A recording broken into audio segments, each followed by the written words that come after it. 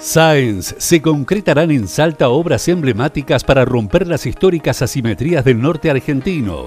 Junto al presidente anunciaron la construcción de 75 sistemas de almacenamiento de agua de lluvia para Santa Victoria Este, una escuela técnica en Metán, el gasoducto de los valles calchaquíes, obras en Embalse Limón y en rutas.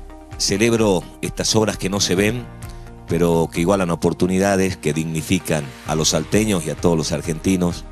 No voy a dejar de pedirle, presidente, por la Ruta 51, que es una ruta anhelada, histórica, querida, soñada por los salteños, que es nuestra salida al Pacífico.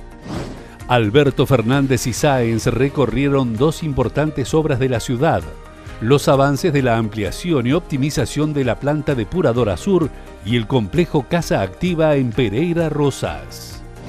En el Potrero construyen un nuevo edificio para el hospital. La inversión provincial es de más de 274 millones.